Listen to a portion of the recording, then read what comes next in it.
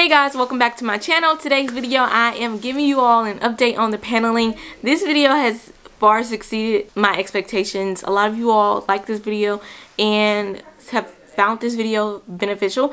A year ago, I updated the paneling in my home and I filled it in with joint compound and painted over it to make it look like drywall for under $30. Yes, I said under $30. So it's been over a year and I want to give you all an update. But before we jump into that update, I want to say if you like this video, go ahead and give it a huge thumbs up.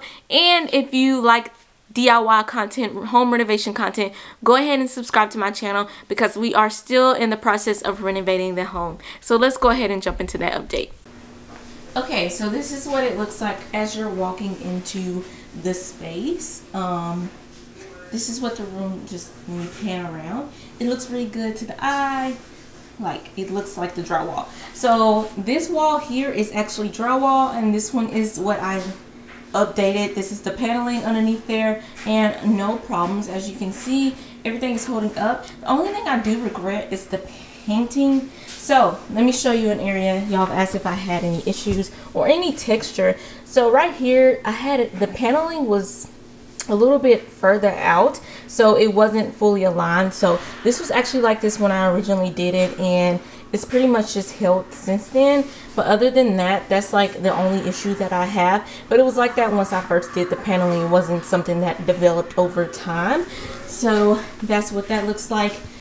So if you get up close on the wall you can see like it's a little bit of texture. It's not um, going to be like really flat or anything like that. Because I mean it is a painted paneling wall and the paneling had texture on it. So you kind of see those lines a little bit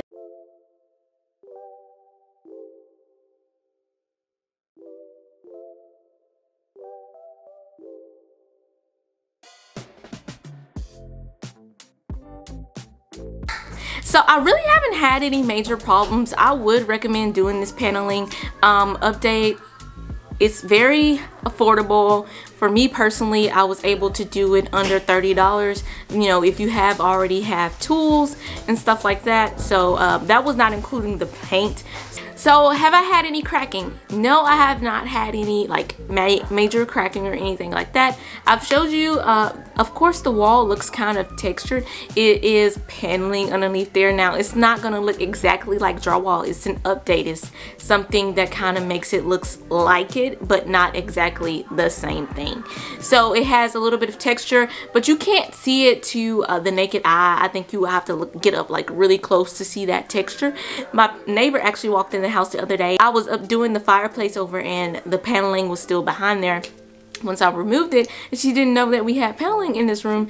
Um, so a lot of people you have to tell them like oh it was paneling in this room for them to even notice. The only thing that I am going to do over in this room is I'm going to repaint this room. I used flat paint when I originally did the paneling update and I don't like the flat paint. It just holds a lot of stains in. This room has a lot of uh, traction and a lot of people and guests that comes into it. So um, the walls are getting a little dirty and as you know, it's really hard to clean flat paint so we will be repainting it. But I wanted to give you all the update before I repainted it and show you all exactly what it's looking like post a year after we've done it. It actually has been over a year because I posted that video a couple of months after I did it so this is what it's looking like. It's holding up really well and I probably would do this again if I had another room but this was the only room in the house that had paneling. So um, yeah I recommend doing it. I feel like it was affordable. If you don't have the money to replace all your walls with drywall and a lot of people have multiple rooms that have this. So it's a cheap affordable fix and it holds and it lasts on. So just make sure that you get a good reliable joint compound and that probably will save you in the future for having to get something very um, with cracking and stuff like that. So make sure you do your search. Guys thanks so much for watching this video. I hope this painting update has been beneficial to you personally. Um, if you like this type of videos i do diys and updates on my home as i continue to renovate it. We are nowhere done in the renovation process so if you like that type of content go ahead and subscribe to my channel as I continue to do makeovers and DIYs and stuff within the home. Also, if you like this video, go ahead and give it a huge thumbs up. I'll see you all in my next video. Bye!